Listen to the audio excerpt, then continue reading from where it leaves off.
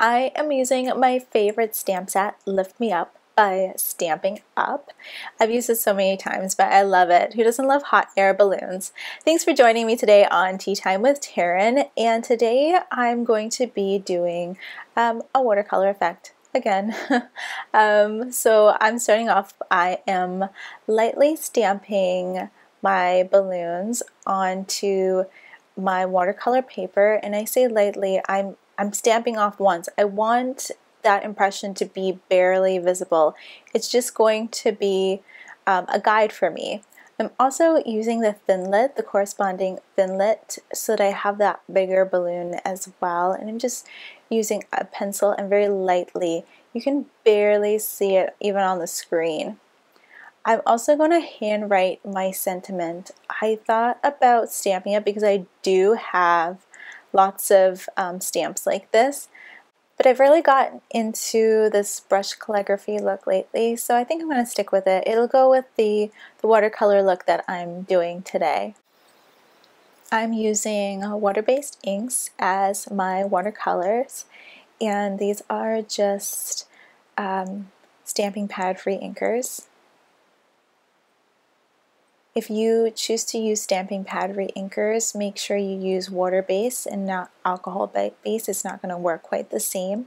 And I'm using my aqua pen water brush. They've got lots of different names, but this one is from Stampin' Up, so I believe that's what they call it. And the colors I am using are um, colors I mix myself, so they are not colors that you could purchase. I wanted very like muted colors. So I mixed blues and greens with browns to really give them um, a, a, just a very dull um, shade.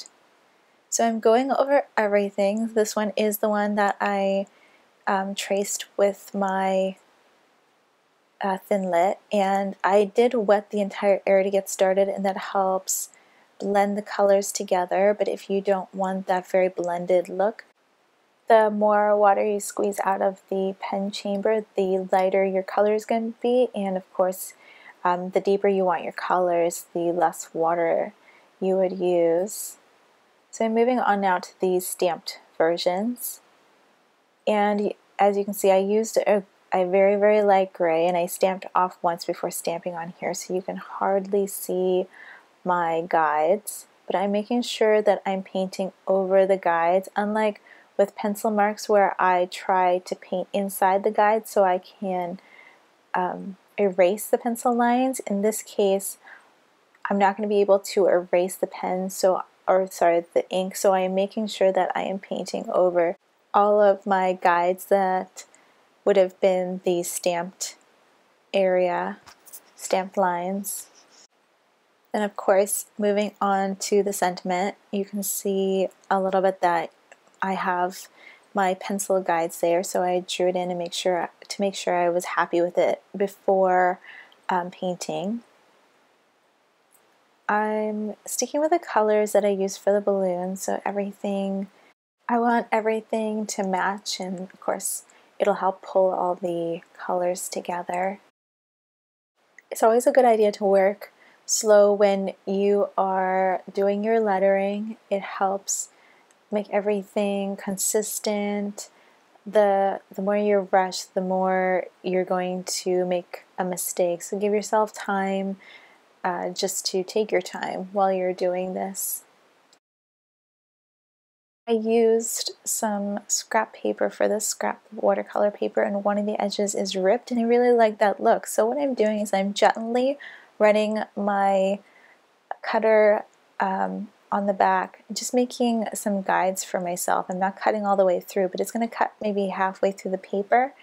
And then I'm going to bend those pieces over and then I can rip the edges and it, it will be, um, I'll have this nice consistent look all the way around this card.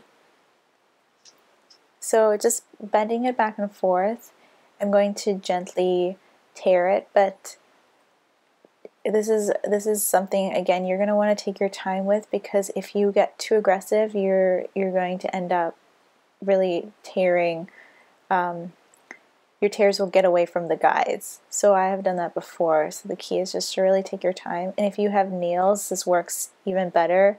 If you don't, maybe give yourself some more of a, of a border for you to rip away.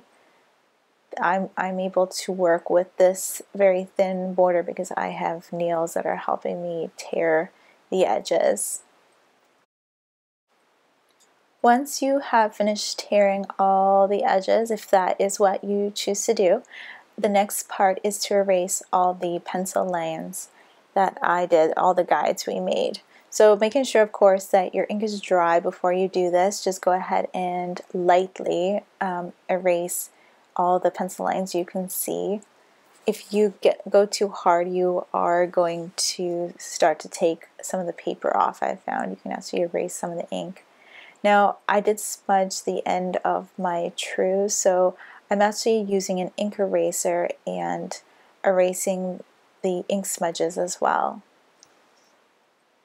I'm going to mount this onto a card and this is going to be a greeting card but I think that it would look nicer if I used another layer between it just to help kind of ground those colors.